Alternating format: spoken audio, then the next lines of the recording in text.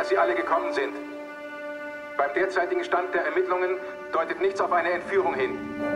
Wir müssen sicher sein, dass der Junge sich nicht verlaufen hat.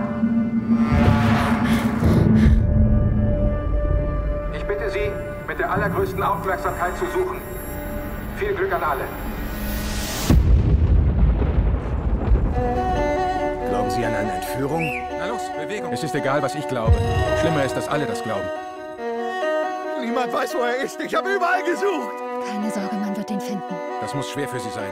Aber da ist was faul. Wo waren Sie zwischen 9.15 Uhr und 10 Uhr? Was ist los, Mama? Die Polizei war heute im Laden.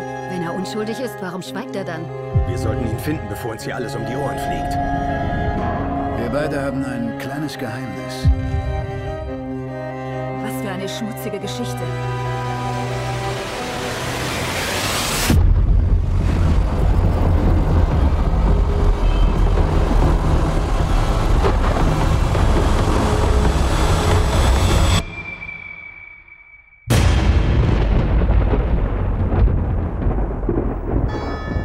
leiden alle darunter. Man hat das Gefühl, die Wahrheit ist da.